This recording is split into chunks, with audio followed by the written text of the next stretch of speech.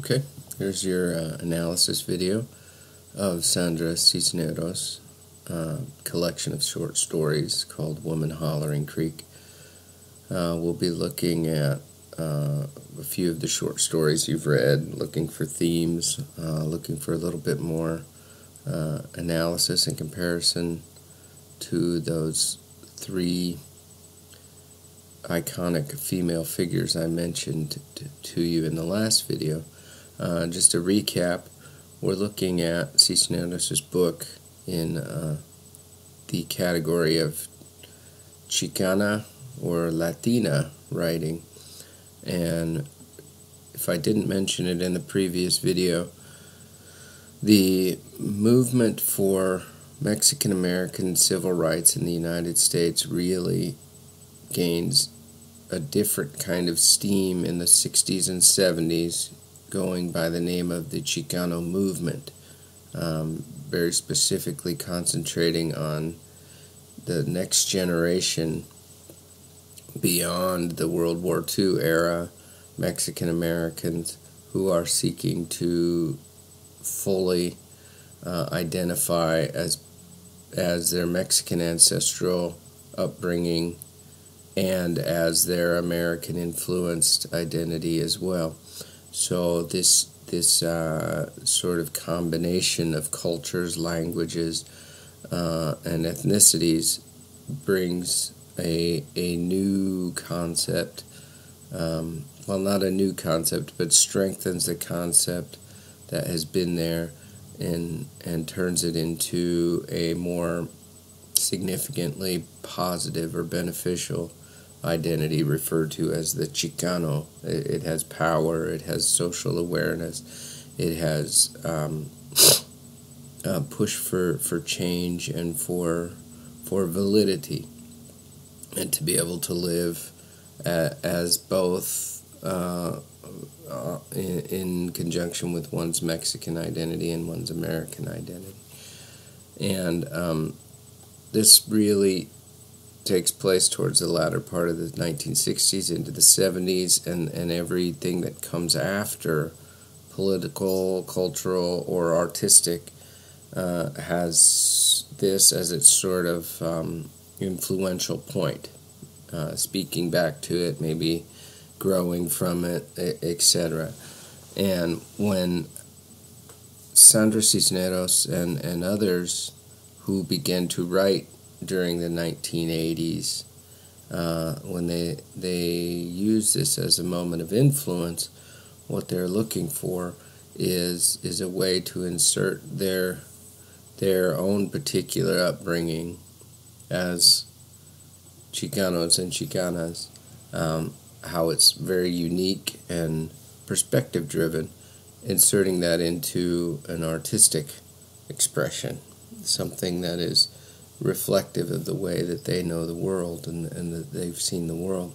And I mentioned in the, the bio video to Cisneros that she grew up, uh, was born in Chicago, spent time in Mexico, and then ultimately um, lived in San Antonio, Texas, sort of an in between uh, the two for a majority uh, of her life. And in fact, I believe only recently has moved from there. But um, so this idea of, of culturally in between or culturally moving back and forth is a very big idea in in the writing of Mexican Americans slash Chicanos uh, in the 1980s, 90s, and, and it's sort of evolving into something else now. Um, so she writes these stories in a, in a way that, that sort of mixes cultural identities in and, is very, very um, unique to Chicanos and Chicanas. And, she also does this by looking specifically at the women.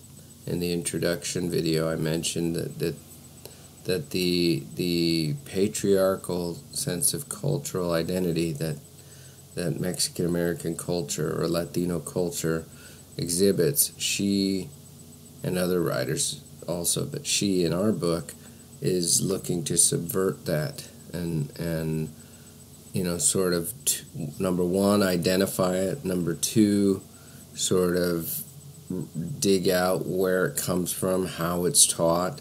And number three, begin to sort of see ways that we can flip it around and undermine it. Um, I mentioned in the last video also this figure known as La Llorona, the weeping woman, with whom this book is sort of in in in conversation. Um, now, the story of La Llorona is, is a folk tale. It's an oral history story that has been sort of told for for a long time and in a little bit different ways, but with some some sort of common elements in all the versions of the story. I'm going to share that with you, uh, but I also want to uh, bring up two other female figures that that are important as well to understand.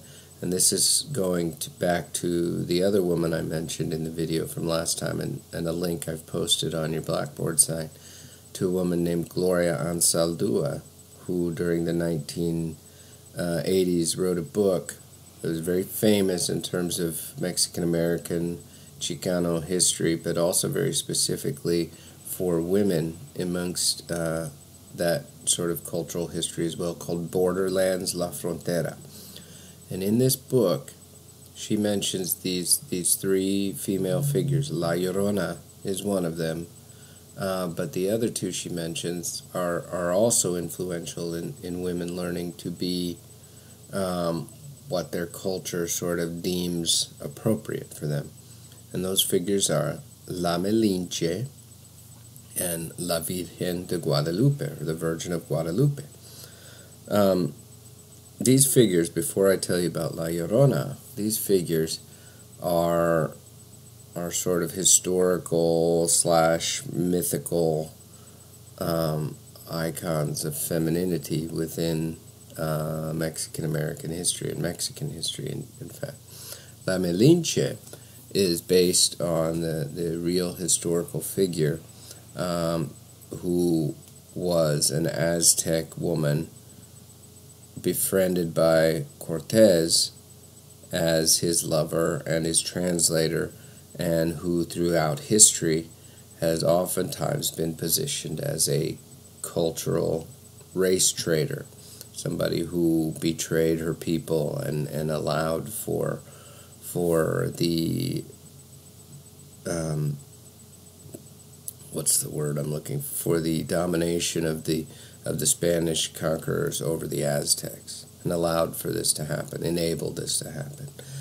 And in fact, was more than likely not the case that she betrayed or or gave her herself over willingly, completely, and and turned her back on her people. This has been sort of misconstrued throughout history.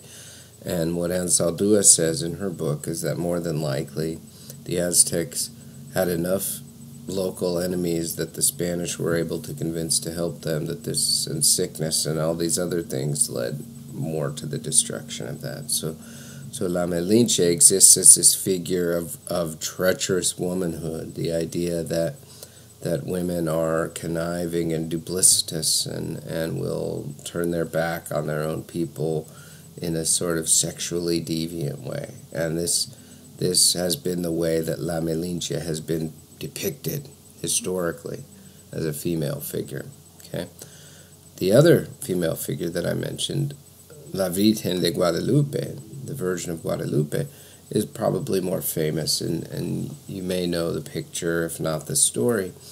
Um, in short, the story has to do with the 16th century young boy by the name of Juan Diego, uh, wandering through the through uh, the the the valley and the hill in in a small village and or outside a small village and coming across a vision of a woman, a holy vision he feels, and he feels overpowered by the vision, and the woman tells him to to go to the local bishop, who is a man who has come over from Spain, uh, and build a church in her honor at this place.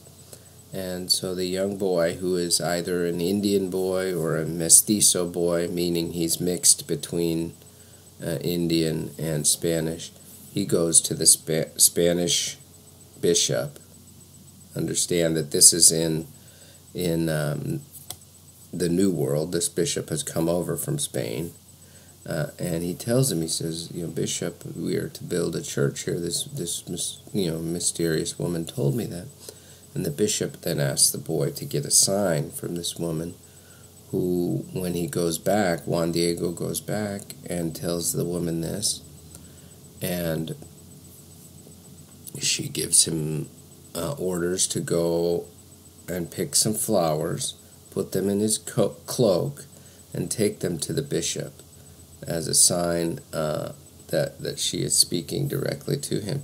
And he takes these flowers back and uh, ultimately drops them in front of the bishop. And on, imprinted on his cloak is this beautiful uh, vision uh, in the the the garb that we're most familiar with in terms of the blue and white and the yellow uh, and the green and the stars uh, surrounding this this virgin image. Uh, and of course, this figure, the Virgin of Guadalupe, becomes very, very important in Mexican and Mexican American culture because it's it's a vision of uh, Catholic femininity specifically directed at uh, the mestizos, the Mexican slash Mexican American people, and it, it helps the Spanish sort of spread their Catholicism to the indigenous people in the area because of that. Now, this figure uh, then becomes the component of female identity that has to do with chastity and purity and, and wholesomeness uh, and, and sanctity, right? This is a Marian apparition that serves to influence an entire culture, okay? So, on the one hand, you have the La Malinche figure who represents, you know, the duplicitous, treacherous nature of women, and the other hand, you have um, the figure of a virgin who represents purity and piousness, uh, both that should influence or have influenced a cultural identity. And so, between the two, what you get is sometimes what, what academics will call a virgin slash whore uh, binary, going back and forth between the two. Uh, female identity is oftentimes, you know, simplified to this sort of binary. Okay, and the third figure, and and Anzaldúa is mentioning all of these in her book. The third figure that she says uh, has been, you know, sort of a, an ingredient in Latina identity is this figure known as La Llorona, the weeping woman. And the story, as I mentioned a little bit ago, is is various. You know, it ha- it has different um, uh, different ingredients, no matter how you tell it. But the core of the story is is the same in all of them, and I'll give you a sort of watered down version of the story and it's just that. I mean, whether it's based on true events or anything like that, it's you know that's long since been erased from the story itself. The story begins with a young, beautiful girl in a small village, the most beautiful girl in the village, very sort of, um, we would say today, she's full of herself and knows that she's beautiful and feels as if all the men around know she's beautiful as well. And so she decides that she is going to um, marry the most handsome man in the local area because it's only rightfully so. And so she she makes her decision and brings the man close into her ways and begins to flirt with him and attract him, and they are married because, you know, again, according to how you tell the story, because the woman has, you know, beguiled him and she knows what to do as a woman. Um, in terms of emotions and how to play with man's uh, hearts, etc. This is the way that the story goes, and and they are married and they have two children and they start uh, a young and and you know sort of successful life together. But as they get older, the man gets a wandering eye and a, a wandering heart, and he begins to leave on more and more trips uh, to you know whatever reason you want to put in there into the story to to fulfill his business needs, etc. But he stays away longer, and he stays away longer, and one time he doesn't come back, and until he comes back and he has a newer, younger girl sitting alongside him on his wagon, his you know bit of travel, whatever. Uh, and they come back and they say hi to his his children and ignore his first wife completely. He has essentially replaced his first wife with a new version of her, a younger version of her. And again, details. The details change in, in however you tell the story. But because of this, the first wife, the woman, uh, is emotionally driven to extreme rage and cannot control herself because she has defined herself by being wanted by all these these men and getting the man that she wanted. And now that this is no longer the case, she is unable to cope. She has lost connection with logic. She is rage filled, anger, jealousy, you know, crazy manic behavior. And she is so angry at her husband that she sees her children that she has with him and she takes them down to the creek and she drowns them because she's she's very spiteful and she she wants all of him destroyed. And after doing this she sort of comes back down from this craze and realizes that she's drowned her children too. They're not just his children. And she begins to to weep uncontrollably, to sob, deep, heavy sobs, very emotional um, moment because she realized that, that she can't control her actions. And and because of this was driven crazy and was left to wander the creek bank up and down crying moaning moaning and crying. And sobbing uncontrollably.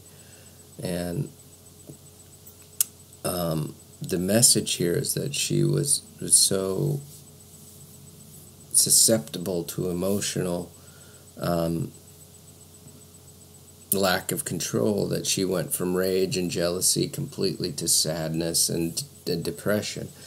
And she therefore exists as a story of a, a woman's inability to control their emotional output. This is the sort of meta message beyond that. And then, of course, it makes for a good ghost story because that figure of the wandering, weeping woman exists in, in ghost form as well. You say that, that out in the dark on you know nights where where you hear a moaning sound or a or a unexplainable, you know, roar or or just whatever in the dark. Sometimes that could be the sounds of La Llorona, and she's out looking for for children, and so she exists in that way as well. So if you put all these three figures together, La Llorona, this this mother turned, um, you know, uh, scorned wife, etc., and then La Malinche, the, the, the sexually deviant betrayer, and La Virgen, the pure, you know, sanctimonious um, sacredness of the female. You can see what Anzaldúa is doing in, in positioning these three sort of iconic figures as, you know, informed ingredients of what Latina identity should be. Uh, and she says that that's very limiting. And in fact, she, the other thing she says is that these three figures have influenced Latinas uh, to to understand and Latinos as well that in their culture, this means that that for for Latina women to leave the house, uh, they had to sort of fulfill one of these roles. They had to you know get married and become a mother.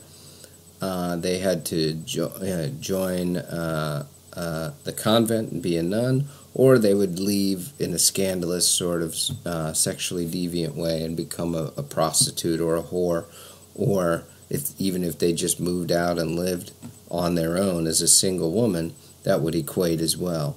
So uh, it's very problematic, and you can see why why scholars and, and authors, etc., would want to start turning this over. And that's what Cisneros is doing with these stories. Um, all of the stories that we read have to do with with women at various stages of of their life. You know, from the very first part of the book where we read, you know, my friend Lucy and and Eleven, which is a beautiful, beautiful but sad children's story.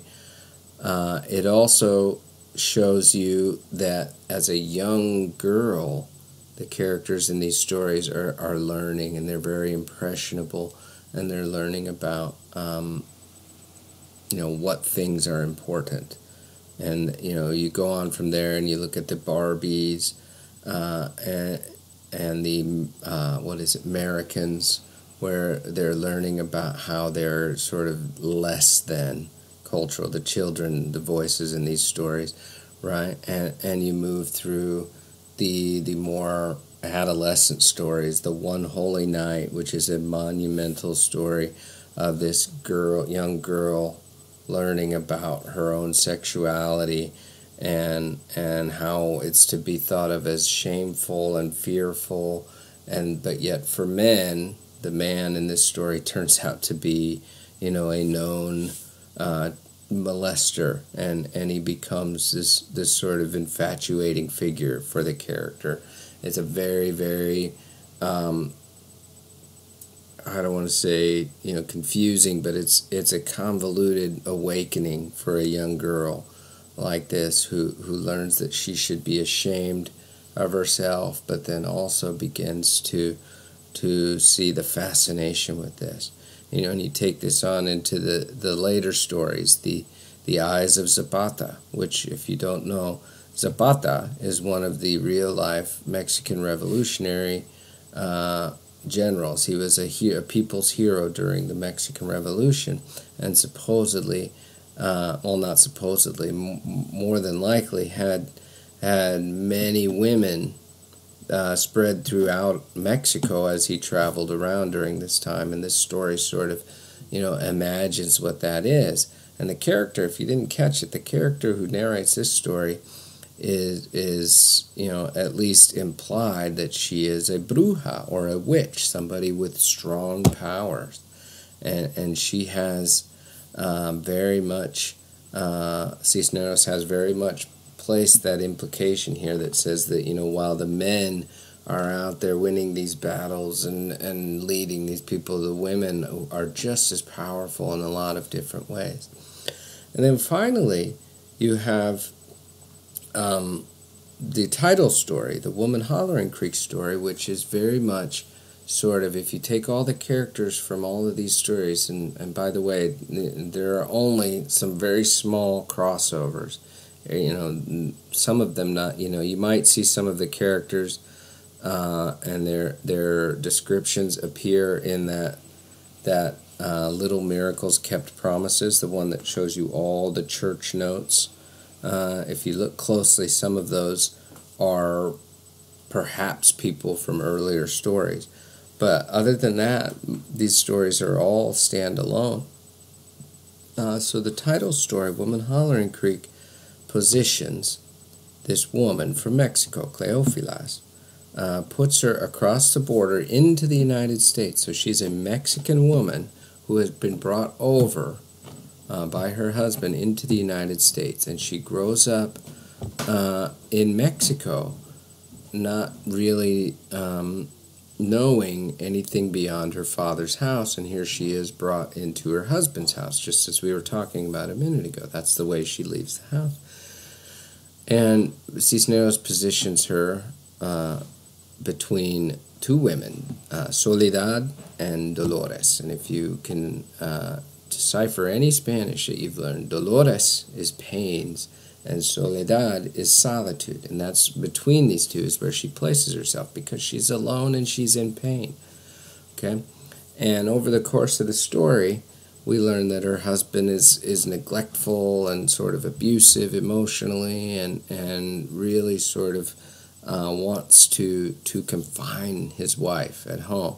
But this woman becomes aware of, of her life as as uh, a story that she can take control of. She's always constantly watching uh, and reading, uh, you know, soap operas or telenovelas that she's drawing her life comparison from, and she's seeing that this is not the case until she comes in contact with these sort of liberated women who would we would identify them as Chicanas. They're Mexican American, and they've been outside of that oppressive Latina uh, cultural identity. And, you know, for instance, she drives a truck, and the people ask her, "Is this your husband's truck?" No, it's my truck. You know, she, the way the, the way that she's dressed, and, and the way that she acts, all of these things are, are much more progressive and liberated than the, the title woman, the Cleofilas, the woman who is very much in that Marianismo, if you remember from the previous video, uh, role to her husband's macho, okay? And Feliz, the woman who drives the truck and, and comes to, to take her away and get her out of this situation, represents a, a Chicana identity that, that, that moves beyond that macho Marianismo uh, tension and into something more. And so the ending scene of that story in fact, where she drives her away and she's she's loud and she's brash and she crosses over the the creek named Woman Hollering Creek, which is an actual creek in Texas. She crosses over and she lets out, I think it's called a Tarzan like yell, a war cry. And she says, I always do that. You know, and it's a way that, that, that suggests that she's not the weeping woman. She's not this sort of emotionally distraught and depressed and confined woman. She has moved beyond that and, and, and into this aggressive, sort of active, uh, and very, very much forward thinking woman who doesn't need the man to, to fulfill this part of her life. And this is what she passes on to Cleofilas and it's very artfully written. In fact, in that last section where where where the the yell sort of you know transitions into Cleofilas's laughter when she's then later telling this story to her her father. Um, this is the, the the sort of one symbolic moment of the entirety of the book that that transition from from weak and, and emotionally distraught woman into something that is much more, you know, active and aggressive is is the moment that that sort of signifies all of what's going on in these stories, a growth pattern, an education and an evolution into something beyond the the confined woman uh, in in this culture. Um, if you look at the other stories, you're going to see very similar um, you know, sort of uh, upturning of confined rules, right? Some of the stories we didn't read also will address this. Uh, Never Marry Mexican. That's a very, very uh, powerful story as well in terms of looking at that. Uh, and then I'm trying to think what was the other story that we read that I haven't mentioned, but uh, anyway, you will see those those connections there as well. Um, good luck with finishing uh, the book. Good luck on your quiz, and we'll see you on the next video.